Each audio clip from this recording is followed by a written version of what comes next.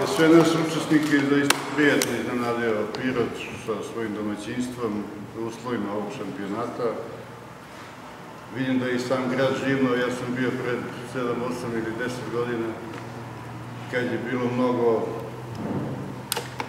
e, kako bi rekao, grad je odisao nekim civilom tada, a sada vidim da se dosta toga promenilo na, na bolje.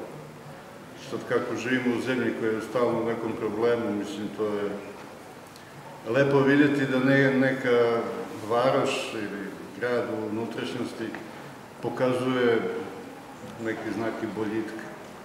Jer većina gradova je tako u poludepresivnom stanju. Sad to nije tema ovoga skupa. Ja bih se zahvalio na ljubaznosti domaćije, na organizaciji i poželao bi da ovakav turnir bude još. I svakako u Pirotu, ja mislim da ćemo svi doći i sledeći put ako budete se odlučili za organizaciju bilo kakvog turnira. Hvala. Hvala.